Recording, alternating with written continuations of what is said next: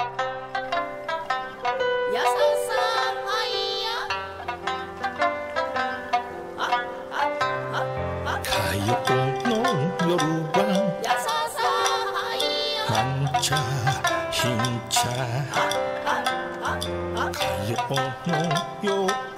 は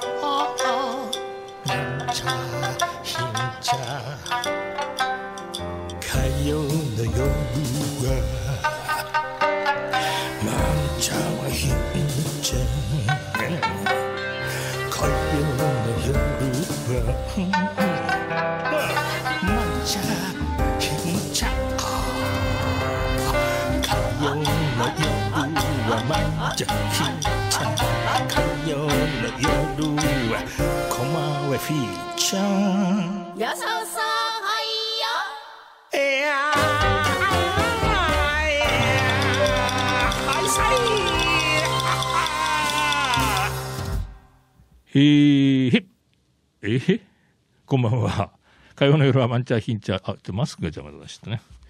えーでございます。えっとあちょっと待ってね。マスクを外しますからね。えーまた本日もノープラン完全ノープランでございますが何の話をしますかね。まあ一応、病気の話をやっぱ言っといた方がいいんですね。えー昨日、2回目の抗がん剤をやりました。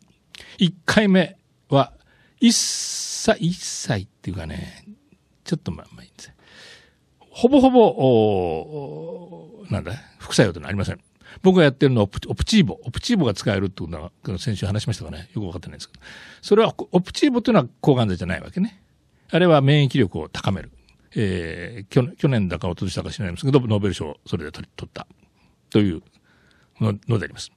ただ免疫力を異常に高めるので、えー、自分で自分の、おえー細胞を壊すという、いわゆる、なんていうの、橋本病とか、そういう甲状腺の、の病気を発する場合が10人に1人いるというようなことです。これを覚悟していってくださいという話でした。残り5つ、5種類やってます。えー、30分1本、それから1時間1本、それから2時間2本、2本の抗がん剤同時に2時間へ、2時間でやります。で、これでいくら ?3 時間半か。だね。3時間半半ぐらい。その間に、まあちょっと、ちょっとした生理食品やつをこう入れたりなんかするんで、まあ4時間近くを病院でやるわけであります。で、残りの1本というのが、なんと46時間をやる抗がん剤でありまして、えーそれをポートに埋め込んだ、体に埋め込んだポートに、ポートに針を刺して、そこから、えー46時間かけて入れるんですけれども、それをやるためには入院しなきゃいけないって話になっちゃうので、で、ポートを作って、そこに刺して、えお医者さんに刺してもらって、そしてそのまま帰宅をする。つまり、今僕はここに、えーぶら下、抗がん剤ぶら下げてるわけです。今どのくらい行きましたかね？これ、えっとね、どのくらいってのは大体書いてあります。まあ、あとこれが終わるのが明日の12時、えー何分 ?1 時、1時ぐらい。まあいいやね、大体。そのぐらいで終わることになる、が感じで、ポタポタポタポタ落ちてるわけです。で、それから2時間経ったら普通にお風呂入ってもいいですよ、みたいな話でございます。そういう状態です。で、ほぼほぼこう、あの、全く、えーえ何？副作用ない。で、僕、まあ2週間に一遍なんで、ずーっとなんです。いつまで何サイクルとか決まってなくて、一生です。一生ってどういうことかなってわかんないんですけど。まあそのうち効かなくなるでしょう、みたいなね。抗がん剤っていうのは。で、そうすると次の抗がん剤を探すと。それも大して僕の場合、腎臓も悪いってこともあって、まあ、どんなに頑張ってもあんまりないんですよ。で、それも効かなくなるとやめる。でもまあ、まあ、その先効く抗がん剤なくなるので、そうなったら、あとは座して死を待つのみ。えーあとは延命治療。まあ、そのうち全身に転移するでしょう。みたいなのが、医者の見立てということであります。で、2週間に一遍なんですけど、あの、大体、あのー何？えっと、副作用っていうのは2週間でキャンセルになるのね。2週間に、後にも残ってるとまたその、だんだん重くなるってことあるのかもしれないけど、2週間でキャンセルなんで、僕完全に、要するに2週間でキャンセルってことは、その間出なかったってことは、僕この抗がん剤がやり続く限り、えー副作用は出ないということらしいのね。わかんないけど。まあ、その間、この、このように元気でいられればの話ですけれども、ということで。ただ、1個の抗がん剤について、これがですね、そのうち手が、これ絶対ですって言われて、手が痺れる。で、これは、うんとね、その指先とか、まあ、まあ足先とかの神経を壊すんだってね。で、神経壊したものはこれ再生しないので、それは蓄積していくってことになるんです。で、そのうちし、もうし、痺れて、冷たいもの触ってビーッときますよ、みたいな話で。で、1回目は、いや、まあ、大したこと、まあ、ちょっとなんかチリチリするかなと思ったら大したことなかったんですけど、2回目、とうとう来ました。で、昨日、農学士の中村さんの番組見てたんですけど、その時出てくる前にちょっと冷たい水をピュッとやったら、もうビリビリビリってもう全然それ治らない。その後、こっち、こっちに向かう間、あ寒空にそ、それにもちょっとした風でもビリビリビリビリもうもうこれじゃダメだ。これ完全に、で、そのうちなんか、人差し指もなんか、うまく動かないような状況になって、これはもう耐えられないや。もう次からこの抗がん剤だけはやめにしない。で、これ、要するにこれは一生つ、もう、これは治らないわけですよ。もうこの状態を冷たいもの触ったと、その、そういう状態になるっていうことは、もうこれ一生、もうここまで、これ以上悪化したら俺も耐えられないっていう、なんだけど、私の尊敬する、四季名さんという、あの、えー、沖縄の、もう盲目、目が見えないのにトマトを作って、奇跡のトマト、向こう機能トマトを作っている四季名さんに、まあ、酵素、酵素も作ってらっしゃって、まあ、ちょっと連絡をしたんでね、あの、あの、だいぶ前、抗がん剤始める前に。したら、ああ、最初僕、すみません、余命6か、余命6ヶ月の告知を受けました。ああ、余命6ヶ月、6ヶ月ね、僕の酵素のば6年に伸びるさ。それで送ってもらったんですよ。で、その酵素をちびちびの、ちびちび伸び続けなさいって話。で、で、えー、その四季さんに最終的にはね、僕、抗がん剤どうしましょう。多分抗がん剤なんかやんない方がいいさ、いい、いい、いいさって帰ってくるかと思ったの。ところが四季さんが、いや、抗がん剤も一緒にやったらいいさ。これでも一発、じゃあやろう。っていうふうに決めたのですよ。ところがこのチリチリが出てきてですね。そしたら、これも電話したんですよ。今日、あ、じゃあ電話来たんだ。あ、そう、なんで電話来たかは後で、まあ、お話しますけれども、そしたら、こうそどうねってみたいな話で、まあ、こうこうこうですって、チリチリって、あの神経がやる。ああ、それさ、再生する場合あるさ、どういう壊れ方してるかにもあるけれども、再生してる人いるよ。酵素塗りなさい。で、塗ったんですよ。でも、その、それにプラス、な、な、なんとかって混ぜて、混ぜて、何、なんだっけ？なんとかってですね。一緒に混ぜて塗ったんですよ。そしたらビリビリ来ないんだね。もうびっ、あ、これならいいや。もう一回ぐらいそのちょっと、その、その抗がん剤やってみようかな。という気になっている。俺面白いですね。人間は神秘ですね。ね。医者なんてろくなもんだからね。いや、そんなこと言っちゃいけないんですけど、医者は医者なんですけども、それで、今回、まあ、一、今回は、その、やっぱり行った、あの、行って一日、まあ、3時間、3時、4時間ぐらい、こう、ソファーみたいなとこ座ってですね。あの、分かったんですけど、持ってかなかったんですけど、全部インターネットも、あの、整備されてるんで、あの、パソコン持っていけば、電源もあるし、全部大丈夫なんです。うん。だから、そこに座ってずっと仕事もしてられるっていう状態なので、こう、まあ、次から OK なんですけど、そこに、また、前回ちょっと、前々回からお話しましたけど、別のですね、薬剤師さんが来たんですよ。また同じ話を始めるわけ。だから副作用がどうだこうだ。その話は実は、その前に、その話一切聞かないっていう話をしたんだ。具合悪くなるから。っていう話なんですけど、なんかね、いろいろ言うんですよ。これは私たちもこうケアをしていく。その、要するに外来の方の担当でとかって言ってるわけ。それで、これは保険がかか、保険、保険料で、あの、料金がかかります。料金がかかりますけど、やりますかどんな内容かわからないのに、わからないで、はい、やります、お金出しますって話ないだろう。どういう内容？え、これは国が進め知らねえよ、そんなのは。国はそういうふうにやりなさい。要するに、いろんなく、あの、ミス、ミスが怖いわけですよ。あの、いい、いきちきちんと言わなかったとか。だからまあ、要するに、向こうとすれば、あの、ね、あの、文句言わないためのっていろいろなんでしょう。だからそんなものいらないと。ざけんな。何考えたら、まあ、最初は、こう、ほ、ほ、と言ったら、だんだんとね、仲良くなりまして、向こうは、ああ、僕間違ってました。最後も笑ってですね、えー、会話、もう、また来ます、なんて言ってね。俺の方が金は、からもらいたいくらいで、本当ですね。でも君いろいろ喋ってくれたんだ、その時にね。これな料金かかるの？いえ、今日はサービスです。当たり前だよ。なかなか面白いですよ。病院は面白いですね。いろいろと。あのね、黙ってちゃダメよ、日本人、本当に。なんかそういうに言われたら、あ、そうですか、そうですか、全部やってもらう。もうね、違う。ちゃんと言わないと、そうするといろんな話が引き出して、全部いっぱい出てきます。面白い。僕は本当に生き延びてエッセイを書こうというふうに思ってるんですけれども。ね、生き延びるんじゃないかという、ほぼほぼ。で、今日もだから、その、四季名さんがそ、四季名さんに電話しただけで、なんか僕は全然死ぬ気がしないんですけども、それでも生前葬はやろうと思ってます。あの、生前の香典のためにね。だって高いんだもん、2週間に一遍3万円だよ。まあ、高額医療ってどうな、どうなったの？よくわかんないんですけど。だからまあ、戻ってくるにしても、とりあえず、3万円とかだ、もう、もう一個の病院に通ってるから、月15万ぐらいですよ。それだけで。まあ、帰ってくるのかもしれないけど、もうたまらんですよ、そんなもの。いや、要するに保険入ってないと、もう死ねって言われてみたもんだよね。ね。なんか、もうね、それでも3割負担。いや、それって腫れない人いるよね、今の年金生活者って無理だよね。いくら、その、負担があれだっつったって。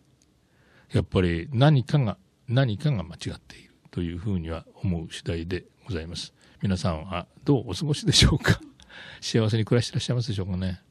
まあ、それが私の近況報告でございます。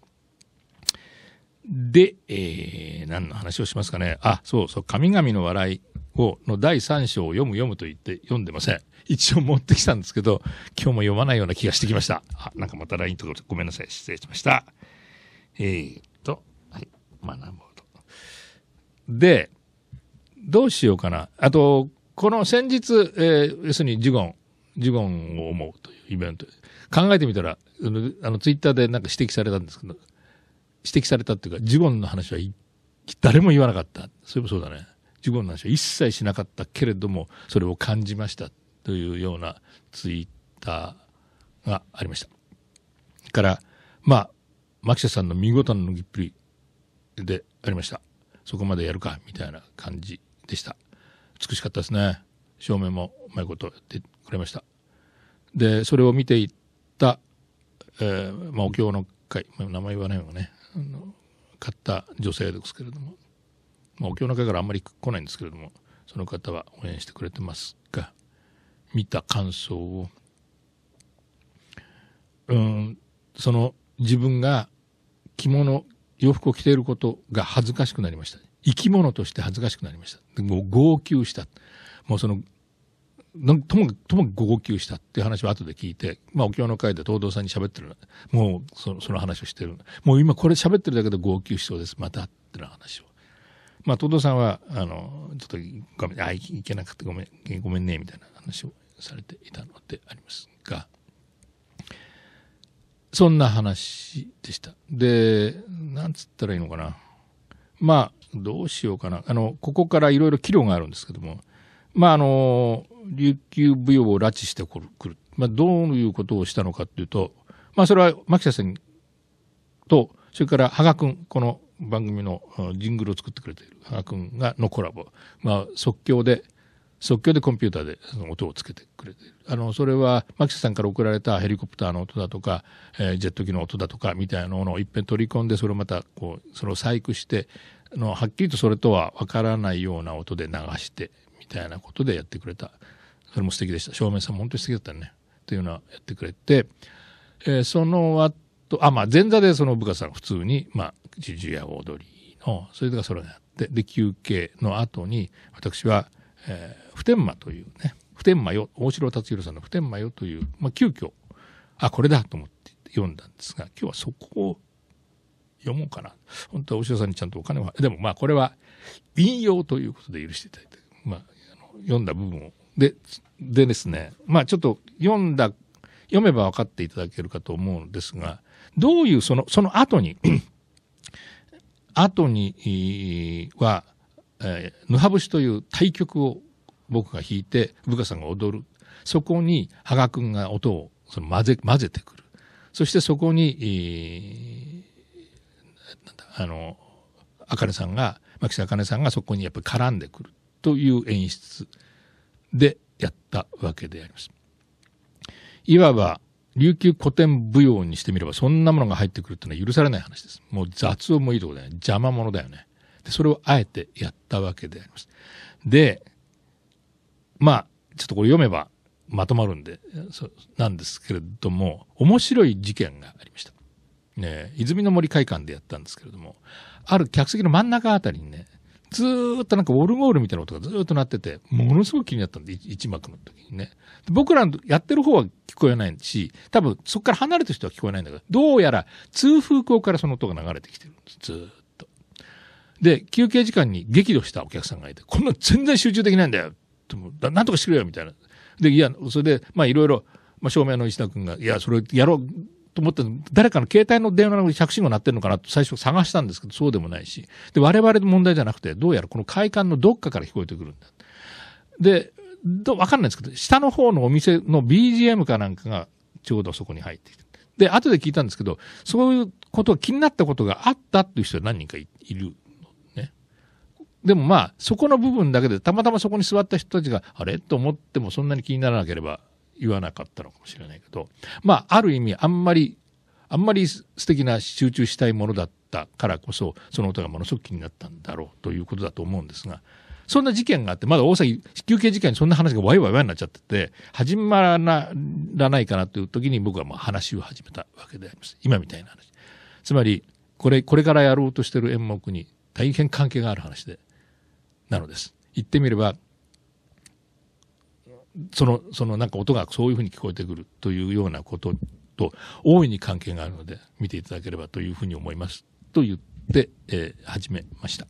で、その先立って、えー読んだその大城達弘普天間よという小説を、まあちょっとそこの部分読んだ部分だけを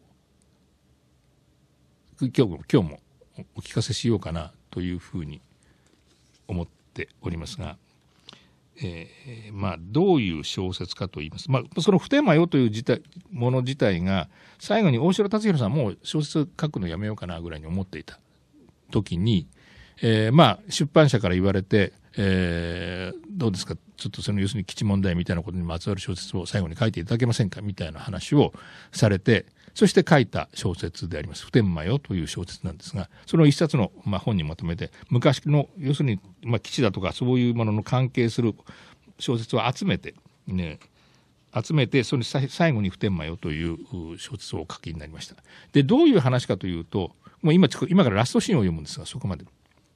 えー普天間に、えーの、えー飛行場の近くに住んでいる一家の話であります。えーおばあちゃん、あ、ここにあるの？あ、これでいきますかね。おばあちゃんと、お娘と孫が、孫と、まあもちろんその、娘の旦那さんもいるわけでありますが、の一家の話なんですけれども、おばあちゃんがですね、普天間飛行、まあ、この一家の多分、墓地、自分の墓地は普天間飛行場の中にあるわけです。で、そういう場合はですね、えーなかなか入れないんですね。で、えーお盆の時だけ、そういうその、あるいは市民の時にその、えっと、墓を、墓掃除するみたいな、そういう時期にだけ、えーそこに、えー入っていい。許可、許可をもらって入ることができるというようなところで、そうでない限りは入れない。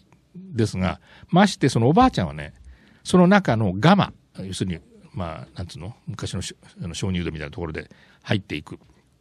その、そこの、えーに自分の大切にした別行の櫛をどうも落としたに違いない。ユタに聞くとどっかあの辺にあるんだよというようなことを言ってくれる。言ってくれたので、それをどうしても探し、探しに行きたい。探しに行きたいけども、そう簡単に飛行場に入れるわけはないんですが、でもテレンテクダ、いろいろ、いろんな人のつてを、つてを、つてを使って、結局中に入ります。入って探しにその場所に行くんだけれども、結局あんなにこだわっていた別行の櫛はな、見つからなかったわけですね。見つからないで出てきた。それはさぞ見つからなかったことことに、もういろいろ落胆しているだと思いきや、おばあちゃんはもうそれで満足している。そこに行った、行って探したということだけで満足をしている。この辺の感覚が果たして理解していただけるかどうかっていうのはちょっとわかんないんですけれども。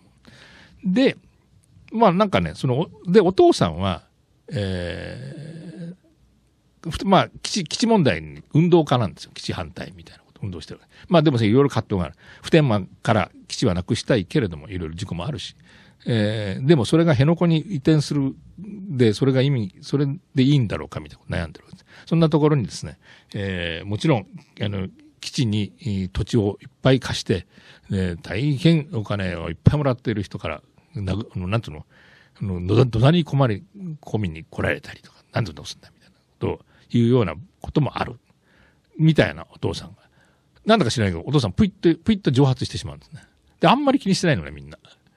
この辺が面白いんです。この辺があの、ちむどんどんの兄ちゃん、ニーニーと一緒になりまして。ここもね、一つの、ちょっとここも話が展開がざーっと広がるんですが、そこはちょっと今日は置いといて、まあ、ありがちな話です。で、なんとなく、なんとなく帰ってくる、帰ってくるんですけど、別になんとなく帰ってきたことを喜ぶでもなく、あ帰ってきたね、そんな感じなんですね。まあ、これも沖縄っぽいんですけど。で、お母さんは何をしてるかっていうと、その普天間飛行場の近くで、琉球美容教室を開いているんであります。で、娘は、その、その生徒さんでもある。で、その、その、そのコンクールがあるんですけど、そのコンクールに新人賞を受かったけれども、もう優秀賞がなかなか受からないでいる。で、どうもそのお母さんがそのコンクールの審査員である。ということ。それから娘がその、え新聞社主催なんだけど、その新聞社に勤めているということ。つまり、ひいきに、ひいきしているんだっていうふうに思われることが大変困るというので、逆に、逆ひいきみたいな感じで、大変厳しくなっちゃってるんじゃないの？というようなことを言う人もいる。まあだから全然受からない。で、それを稽古しているという場面なのであります。その稽古してる場面を今から、これがラストシーンなんですけれども、読みたいというふうに思うのであります。えーで、本当にね、その、えー休憩時間のそのクレームが、まさに、まるで仕組んだかのような、に関係をするということでありまして、まあ、奇跡のような話なのでありますが、えーおばあちゃんがですね、えー歯医者さんに行って、歯医者さんに行って、えっ、と、行ったはずのおばあちゃんがすっと帰ってきちゃって、どうしたの？って忘れ物をした。補聴器を忘れた。というような場面から始まるわけでありますが、そこのさラストシーンであります。えーとね。ところが、行ったと思ったらすぐに戻ってきた。もう行ってきたの。まさかね、忘れ物？お母さんがそういうふうに。母がさすがにいぶかって、私へ、私へというのは主人公です。主人公の孫です。私へ確かめる目をするが、私が面倒で答えずにいると、祖母は、補聴器と言葉短に言って、布製のハンドバッグから新聞紙の包みを取り出して広げた。黒い補聴器が現れた。ああ、父が大きな声で笑った。母がそれを見て、いや、聞いて、正直に嬉しげな顔をした。祖母が折れた歯を包んでタンスの引き出しにしまい込んだのは良いが、補聴器を包んだものが一緒に入っていたらしく、包みを間違えて取り出した。黒い小さな補聴器はやはり歯よりは大きく、それだけに生き物になって笑っている気がした。日頃、補聴器を耳につけると爆音がとんでもない音で入るというので祖母は嫌っている。私たちのような健康な音ものが補聴器なしに聞く音との比較をしてみたいが、まだ試していない。爆音が聞こえた。父が一瞬天井を見た。しかし、それだけであった。これから何千回か何万か何万回か、ひょっとして生涯生涯付き合うことになるかもしれない爆音だ。舞踊のコンクールが近い。私は3年前から優秀賞を狙って臨んでいるが、まだ通らない。それは、ひいきの拉致外にあるからだ、との評判があり、母も私も複雑な納得をしている。コンクールの主催者が私の勤める新聞社であり、それに母が審査員の一人だということが、他の審査員の点数を辛くし、かえって不利な立場になってはいまいか、と友人は言うが、そのことを自分で確かめることができない。とにかく、稽古に精進するほかはない。稽古場に入った。小ぶりな道場だが、ここから二人の優秀賞と七人の新人賞を出した。最高賞を出すまであと一息だと、母も私も志を高めながら楽観している。稽古場では母も娘もない。師匠と弟子という関係の他の感情を入れてはならない。この稽古場は床がよく光っている。母が弟子たちに磨かせていて、それを嫌って去る者もいるが、それはそれで良いと母は考えている。母と連れ立って入った時、二三の弟子が特に厳しい視線を投げてきたが、私は恋に無視する表情を保った。弟子は二十数人いるが、今日の出席は10人を切っている。コンクール向けの特別稽古であるので、受験予定のない者が休んでいる。今年の優秀賞の課題曲は、ヌファ節の一曲だけというのが例年に照らして異例だ。三曲というのが例年のことである。多くの演目が4、5分間でまとまるのに引き換え、ヌファ節は19分もかかるので、コンクールの運営の都合で節約したのかとも思うが、ヌファ節という難曲を踊らせれば実力はわかるということかとも思われる。私は母に説明を求めるのを遠慮している。母は審査員としての節度を人並み以上に守る人であるからだ。ムハ節。この恋の極致を表現した踊りを私は小学校を卒業した年に竜舞を習い始めてから何十回あるいは何百回踊ったであろうか。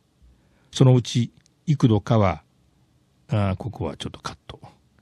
えー、会いに行ったけれども会えずに帰る悔しさに、あ、これは失恋の歌だろうか。会いに行ったけれども会えずに帰る悔しさに、ひょいと浮かんだその女への妄想と嫉妬。しかし、禁じようにも禁じられぬのが恋というもの。会えずに帰る道すがら、振り返れば、女だけに白雲がかかるのが見える。とにかく会いたい。失恋を超えた女の願いの真実がここにはある。環境の一切を自分に引きつけてひたすら進む女というより人間を愛しく思った。野羽節の時代に、野羽節の時代の女を羨ましく思った。羨んでも仕方のないことだが、せめて羨むことだけでも許してほしいと。普天間基地に住んでいると、そのようにしか生きられないのだろうかとも。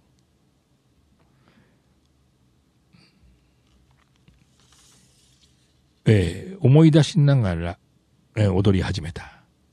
会わぬ傍らに戻る道すがら、途端に爆音がテープレコーダーの歌三振を消した。ヘリコプターだ。異常に近く聞こえる。この上空だ。ただ、いずれ数秒で通り過ぎるから自分の踊りの情念を消すほどのことはあるまい。と念じて踊り続けた。が、これは数秒どころではなかった。何十秒とも言わず、何分間か。ヘリコプターがこの稽古場の上空のごく近い高度で旋回しているとしか思えない。こんなことは初めてだ。テープレカオダの回転がいたずらに見える。母は何の指示も出さない。コンクールの会場ではまさかこのような事故はあるまいとひたすら踊り続ける。女だけ見れば白くものかかる。胸の中で歌っている。自分の胸の中だけの歌に合わせて踊った。恋しさえ集めてみぶしゃびけ、歌が現れて聞こえた。合っている。と、音曲と手振りが見事に合っていることを不思議にも思い、誇らしくも思った。言葉と音曲の余韻に浸り、十二分に快く疲れながら、この手を愛おしく思った。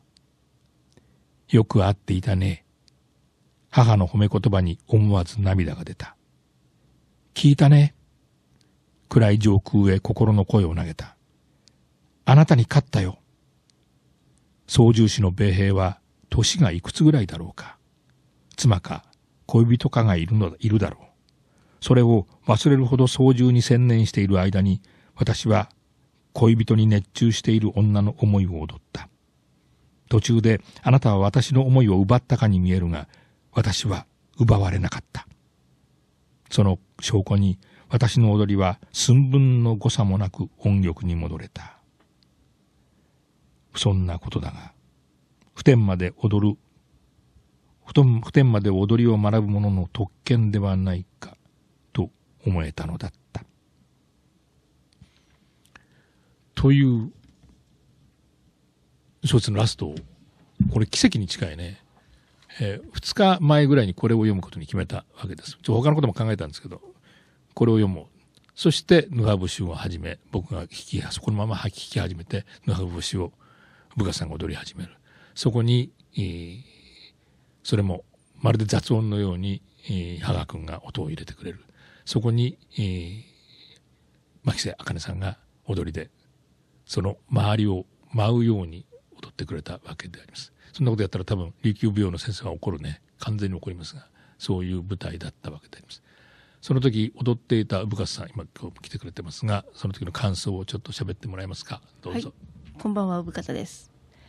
えーっとですね、あのー前、えーやる前に打ち合わせしたときに、ま、あのー、マキさんは自然をイメージして、周りで、こう、見守ってるみたいな感じ、みたいなことをおっしゃ話をしてたんですけど、まさに、あの、踊ってる時に、こう、ふと向きを変えたりすると、そこに、あかねさんがいたりとかして、そうすると、すぐ目の前に、あこうやって自然はすぐそばで見ててくれてるのかな、みたいな、すごい面白い経験でしたね。あの、面白かったです。は、は、いいですか、そんなもんで。はい。で、マキシスも相当面白かったようでありましてですね。で、まあ、その後、まあ、事務所に戻ってきて、まあ、簡単な打ち上げというか、まあ、やったわけであります。それで、まあ、次も決決まりましたですね。はい、第2回、第2回どこですか？5月あ、5月。14日、日曜日。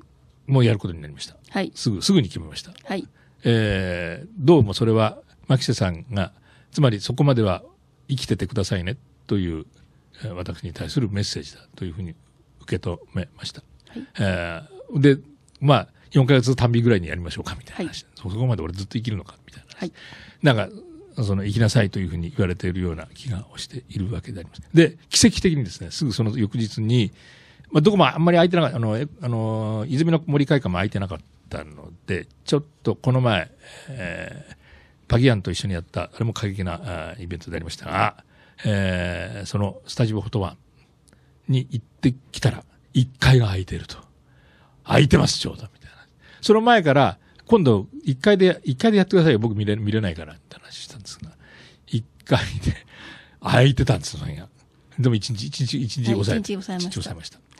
はい。それで、そしてもう彼も見れる。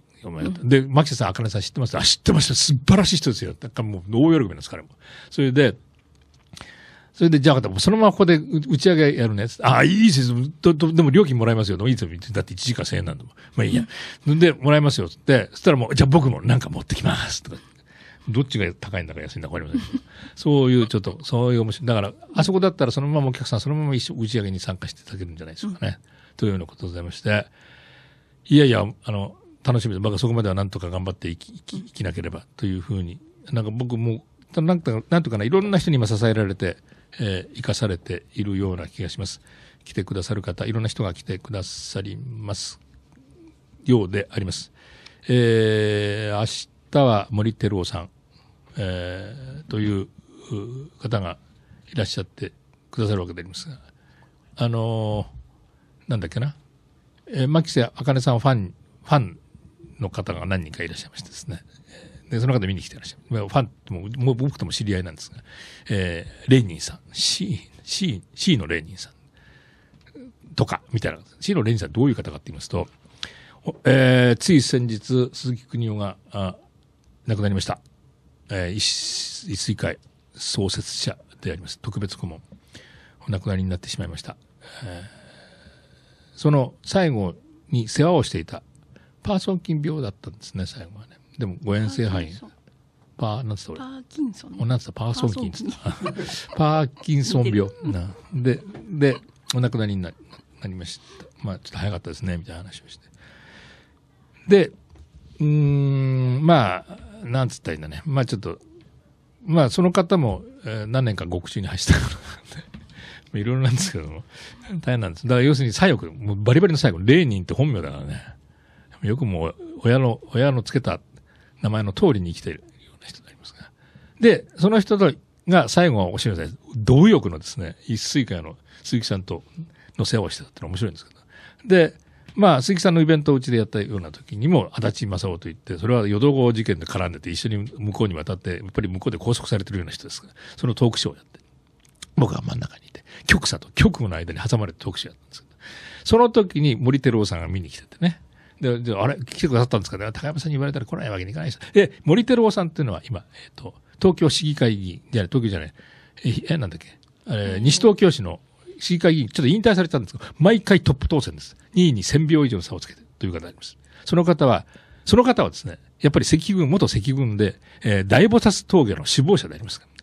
でやっぱり逮捕されてる人であります。で、そのことを隠さずに、自分はそういう人だと言って、えートップ当選。という方であります。その方見に、昨日見に来てて、まあマスクしてたんで、僕は気がついたんですけど、わかんない。そのお友達なんですよ。ような方が。で、明日、森太郎さんが、えー見に見に来て、あ、じゃない、資料館に来てくださるようであります。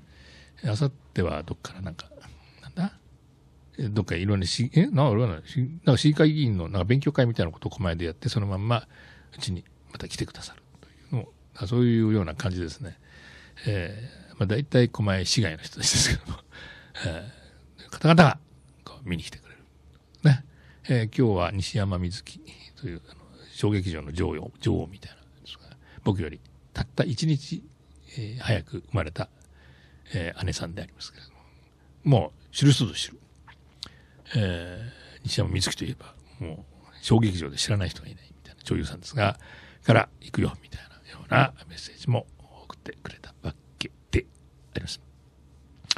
まあいろいろね、関係者もずるずると芋づる式につ,、ま、つながっているわけでありますが、まあいろいろこれいいですと、キリがないのでありますけれども、そんなこんなでございまして、いろいろ僕命をつないでおります。つないでおりますっていうのは変な話なんですけれども、あの、そういうイベントでどうも生き延びてやろうというふうに思って、どこで生前葬をぶち込むかというのは、なるべく人がたくさん来れて、えー香典が集まる日を選ぼうというふうに思っているわけですけれども、えーまあまあそれまでにもう少し、まあもしも生き延びたら、この前も言いましたけれども、その時は夜逃げや、夜逃げをしようかな。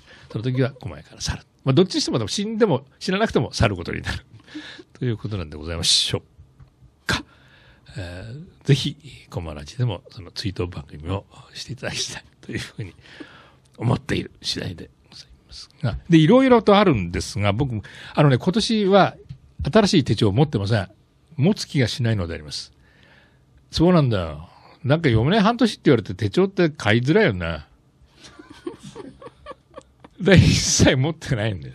自分のスケジュールわからないんだ全部、部活さんに管理をしてもらっているというわけであります。だから、僕は、で、この、この前も言いましたけど、一切病気の話はしない。それも全部本当に部下さんお願い、本当に申し訳ないです。全部管理。でもだから何もしないわけじゃないんです。すべていいことをやるんですけど、一切僕は、病気のことは関係なし。ひどいね。ひどいんですけれど。で、その沖縄のことやり続けて、日頃沖縄を自分のために使っちゃいけない。ね。消費しちゃいけない。あの、というふうに言ってるにもかかわらず、もう完全に、もう、もう本当に極めて奇跡的に使っています。私の命のために、ために沖縄を使っているわけです。ただ、それを許してもらうためには、もうとことん沖縄のことをちゃんときちんとやろうというふうに思っているのであります。というわけで、いろいろとイベントが立て込んでまいりました。大変なことになってまいりました。ちょっと、わかります全部言えます？これだけじゃなくて、ずっと今今後の、今後の一番近いのはこれですか？それに、一番近いのこれです。じゃあ、ままちょっとザラッと言ってください。ザラ。うん。ザラッと言ってください。言えます？あなた、メモ持ってないで。言えます？違うよ、この先の、あの、予定を全部。予定を全部言。そううそうそう。これはちょっと後でちょっと告知しますから、その、これ今後の予定を近い直近から言ってください。直近がこれでしょ？直近から順番に言ってくださいって2言ってんだよ。月12日の日曜日、はい。エコロマホール、はい。琉球舞踊公演「冷やみ勝ちパート24時からですね、はい、その次は？次は、えーとさえー2月の24日、うん。えー大町ラボ第2回。それが次ですか？金曜日。それがその次、はい。その間に何もない？ないと思います。た原発対話の会もない？対話の会はい決まってないでしょ？日にち。も決まっもうほぼほぼほぼ2回ともやるって決まってるあそうですか、えっ、と18かなんかじゃなかったっけ？ほら、2月の？ほら、だからちゃんと分かってない分かってないじゃないんだ。頼むよ。だだ誰も分かってないで今告知しようとしてるってことね。それひどいね。で、原発対話の会もですね、これもまたいろいろ面白いんですけれども、まあずっと続けてきました。この話も何回か、まあ、木下さんとかも来て。で、まあちょっとね、それも、ここのとこコロナで集まれてなくて、まあ僕はどうなるかわからないので、ちょっと締めの会をやろうみたいな話をしたんですが、えー何回か、まあこの原発対話の会そのものが、あの、元東電の社員で吉川君という、まあいろんな、当初はその、バッシングされる東電の社員のために、まあいろんなことをこの番組の話をしたことがあるかな。最初のうちは、本当にバッシングがひどかったです。あの、原発で働いてる人たちに。そこに子供たちが頑張ってくださいねっていうような手紙を書いてくれる。それを紹介して、その、それを、その、作業、あの、原発作業をやっているところの掲示板に貼る。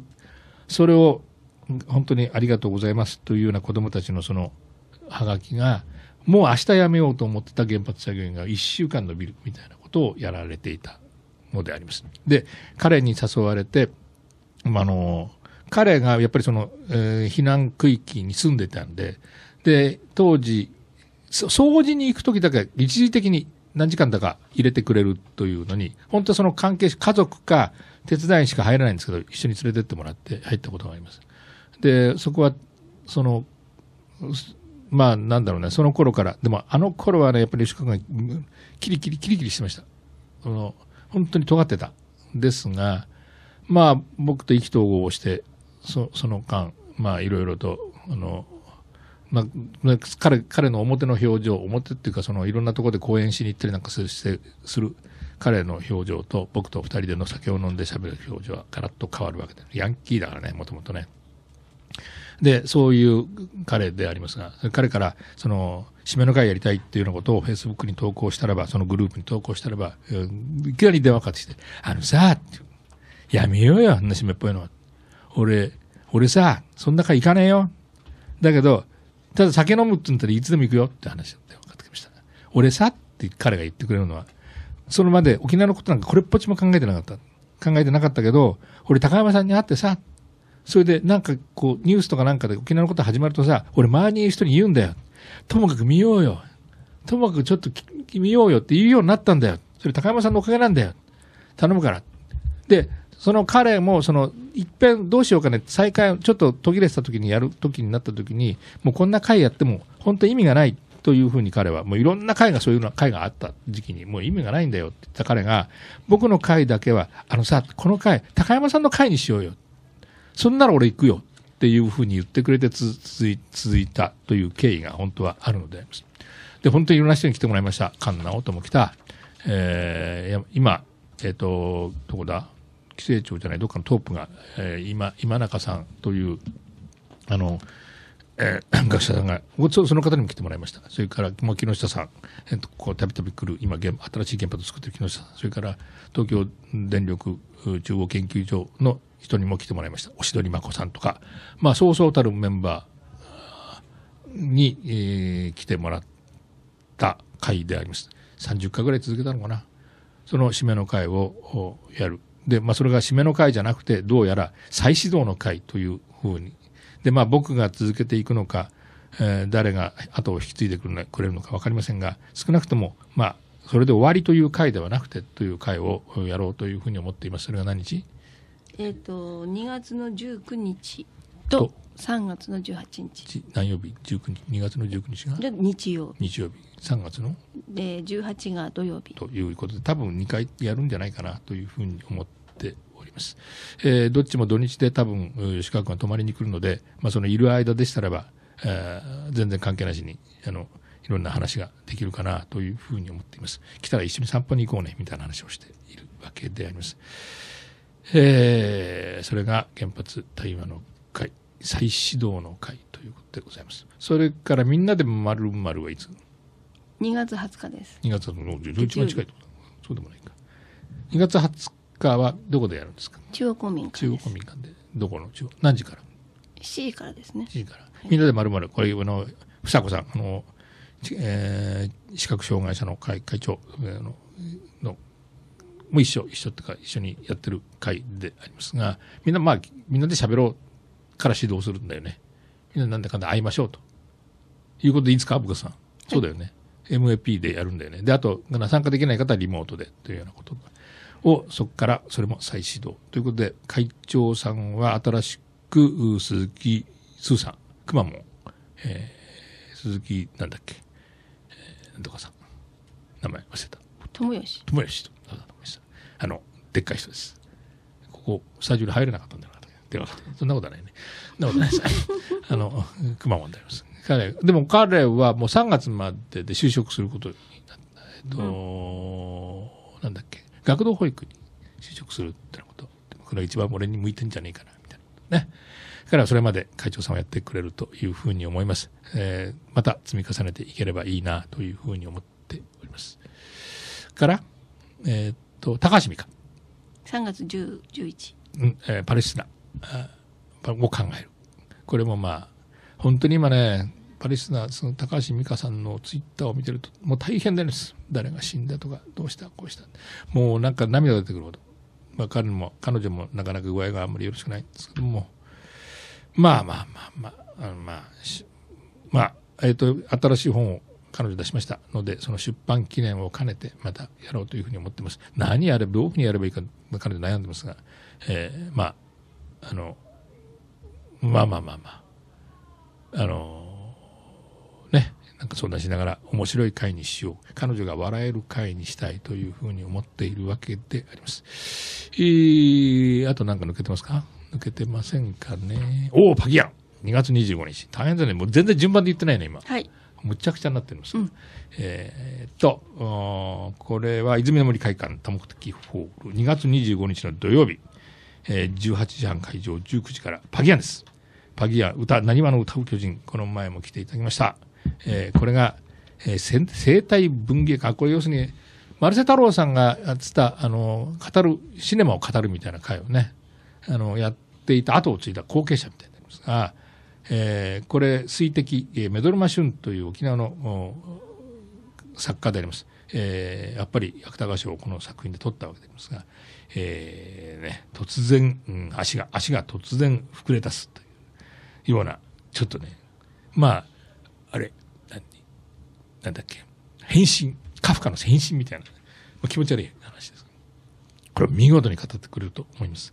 で、その前座でですね、オープニングアクト。何にも決まってませんが、高山正人、熊本吉星さん。ね、これも出た二人が。何するんですかね？漫才やろうかという話になってるんですけど、まあ行き当たりばったりかもしれません。まあいいんでしょう。大体、行き当たりばったりでいつもやっておりますから。もう、もう、大変ですよ。この、マンチャヒンチャって鍛えられてますから。今日ノープランでもまたここまで来てますからね。すごいですね。よくもまあ、よくまあ音楽もかけずに喋り倒してますですね。もう何回か知りませんけど、170回ぐらいですか？もうびっくりポンですね。いいんでしょうか、こんなことで。そのうち、まあいいや。えー、で、これが、これが、これが何 ?2 これ2月それから？25日、ぜひ、泉の森会あ泉の館で夜7時からですね。ねもう絶対面白いと思います。絶対面白いです。楽しみにしてます。それから何かありましたっけ？えとかあ、落語。4月ほ16ら、日。4月も決まって、これも、これも勝手にこの野郎、西川コミが取りやがって。はい。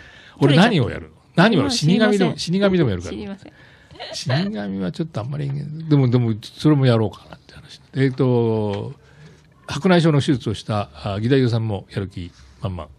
え、から、杉本さん。杉本さんもやる気満々？満々満々か知らないけど大丈夫大丈夫。大丈夫。またあの3人でやるんですかね。どうなっちゃうんでしょうかね。わかりませんけれど。僕はね、なんでやりたいかってわかります？どうしてもやりたいのは。落語もさることながらです。落語ね、大変なんで実を言うと。何回も何回も頭の中でこう繰り返す。あの、セリフを覚えるよりも大変かもしれないね。あの、設定だけ、設定だけ頭の中に立て込んでいくんで、あとはほとんどあれは、まあアドリブみたいなもんで喋ってるんですけど、そういう状況を頭の中に作ることが、方が、もしくは大変なのかもしれないですけど、なんでやりたいかっていうと、あの時ね、俺一番痩せてきた時期なんだよ。僕ね、すごく着物が似合いますねってずっと言われてたの。腹が出てるから。そこにおうまい声に収まるんですよ。本当に似合いますね。だから、タオルを入れるというようなことしなかったんですよ。ところが、この前痩せてたんだよね。それで、なおかつ、ちょっと着物が長くて、はしょってたんだよね。ね、普通はしょらないんですけど、これはなんとかししたいんですけど。で、着崩れてたんだよね。で、立ったら完全にバカボン、バカボンみたいな着着方になってて。あんなに批判をしていたバカボンに私が、もうあれだけは恥ずかしくてしょうがないので、もう一回きちんと、うあの着物を着る。そのためだけにやりたい。こ、これなんです。そのリベンジ。じゃあ、あの、前回来ていただいた人は全員来ていただかそうそうそうそう。ないといけない。あんな、あんな着方をしている、ひ、もうそれじゃ落語はなんかどうでもいいんですよ。その、要するに、俺着物ショーでもいいんです。そ そのために、いや、でも、でも、この前だってですね、あれはネズミは対策でございましたんで。あれよかったすごくそうあれよりもちょっと、泣けたよ。泣けた、うん。もう、えーね、あ大和屋が大活躍とそうそうそうそうそう翔ちゃんそうね。でございました。今度もどういうふうに誰をさ誰を登場させようか。あれはあの斉藤斉藤悟さんが見に来た。あね。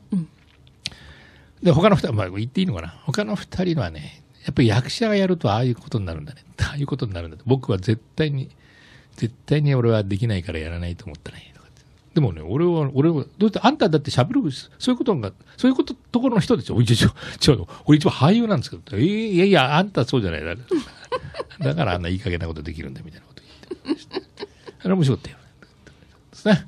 ってなことを、あいうようなことがあって、また、今度はやろうという。なんか、なんかさっけ4月16日ですみんな近いじゃん。つまり、ただだからさ、どうすんの？あとなんだか、なんかいろいろあるよね。それで終わり？今ああと決まって3月4日に西河原、イベント西ほら河原、ねね。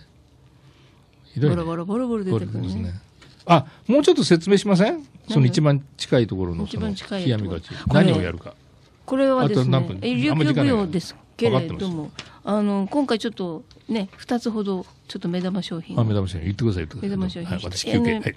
一つは、えー、と創作ですあの2011年にやった創作舞踊なんですけども、まあ、その時はちょうど大震災の後だったので、まあ、内容的には政治ホールでやったのね。政治ホールでやりましたね本当だから、これ、冷やみかちパート2になってますけど、それを入れるとパート3なんだよね。本当はねだから、冷やみかちパート2インコマエ、え、パ冷やみかちインコマエパート2なんだね。実言うとね実言うね。まあいいです。それはその、その、えー、政治ホールでやった時の、あなたのあれは、本当は、えー、何、し教師免許取得記念公う演んだったんだけど、ちょっとずれてしまって、うんまあ、あの、震災があって、うん。それのチャリティー公演みたいな形でやった。その時に新作を作ったわけですよね。どういうそうです、どういう作品でしたっけ、まあ、あの津波で一瞬に、あの生活のすべてを失って何もなくなってしまったところに、うん。えー希望も何もないところで、えー一本の稲を見つけてそれにあのあ生きる希望を見つけて歩き出すという。それをまあちょっと多少バージョンアップしまして、バージョンアップっていうか、設定を変えて、うん。もう一回戦争、原点に戻って、戦争からどういうふうに立ち上がって、うん。というようなふうにした。で、この前はチェロでやりましたけれども、はい。今回はバイパーバイオリンの、要するに4、6弦のバイオリン。でやろう。まあ、どういう形になるのか、新しい曲を作ろうってくれるってことの話なので、うん。どういう形になるのか、まあ、ちょっと演出もちょっと変えて、まあ振り付けもちょっと変えることになるだろうというふうに思います。その新作が一つメイン。はい。もう一個がえーと四つだけ。四つだけですね。あのもうバリバリ古典でございますけれども。この前もそれで、この前は琴と踊り手一人というバージョンで、えーこの魔法でやりました。あの、あんまりアート、アートに。言わなあんまりこ細かく言わなくてもいいんですねなんで？あそうだってお楽しみお楽しみね。それ今回そのバージョンアップして、そうです。えーちょっと全然違う感じに、うんすごい絶対もうなんか考えるだけでん。ざわざわするね。というのを見る。それから、この前どっかでやったのはなんだっけ？あれは、ああれか。あの10月にうんやった、あの藤木さんのイベント、はいあのちむどんどんの報告会でやったあの歌「銀作の花」み銀と陽とうん銀作の花をもう一回やろうに似た空がまた歌うの？新田空さん歌いますね。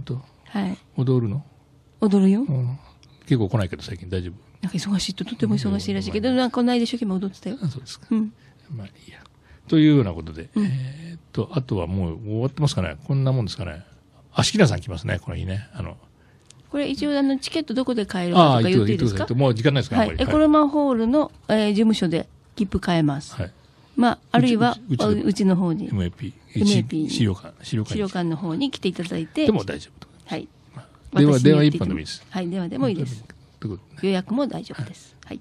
ということで、いいですかねはいもう、ほら。ちょっと早くない？今日。あと1分あるよ。大丈夫？ずっと行く？まあいいや。で、踊りますか？踊りますじゃないや。踊るんじゃないんだから、びっくりしました。あ、そう。あ、できない。そうなんだ。今、あ、ダメだ。これ入ってんだ。これ。針が、針がこれ刺さって私ね、ぶら下がってるんですよ、これ。あまり動かないお。願いします。ここでぶらぶらぶらっとるんですい。やいいからいいから。ブラッとやらせたね。これなんかあれみたいだね。酒みたい。あのうん、酒持ったら酒持ってこうやってなんかの飲んでる。あ、ちょっと、ちょっと手がしびれてます。これも大丈夫です。はい。酵素を塗り塗りたくればという。はい。ございました。コース私も今日乗ったんですけど、どうですか？手がね、すべすべ。すべすべ。すべすべ。あの、あれにアトピーも治るやつらしいですよ。イボに塗ると、あっという間に。ということで、いいね、これ。はい。えー、酵素が必要な方は、それもごろごご連絡いただければとございます。あと10秒。今日もありがとうございました。まあ来週も生きてそうな気配がいたします。おやすみなさい。ありがとうございました。また来週。